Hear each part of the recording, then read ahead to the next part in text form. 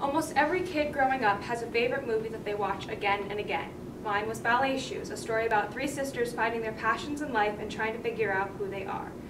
I liked it at first because I was a typical little bunhead, and the character Posy was the daughter of a ballerina with dreams of making it big.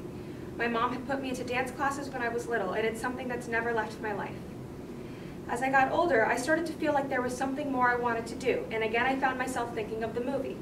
In school, when they started to ask us more seriously what we wanted to do with our lives, Posy's sister Pauline's word came to mind. I think I'd like to act.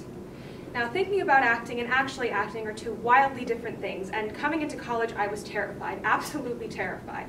I had never had any opportunities to really act before besides a couple ensemble roles in high school and my breakout role senior year as tree number one. It felt like my whole future was hinging on it, and that's an awful lot of weight to put on something that I had never been able to pursue as more than an after-school activity. My fear came from not knowing if I even could act. Throughout these past two semesters, I have grown as an artist in so many ways, and thank God because I did not have a backup plan coming into this. In musical theater, I have been able to combine my passions. I am an actor and I am a dancer, yes, but beyond that, I am a storyteller. I can use my body and my voice to bring characters and emotions to life, and when I am doing that is when I feel like I have a purpose. It feels like I am finally getting to do what I was always meant to.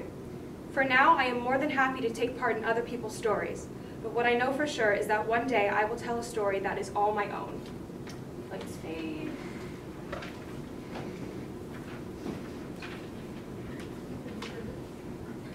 Lights up, music go.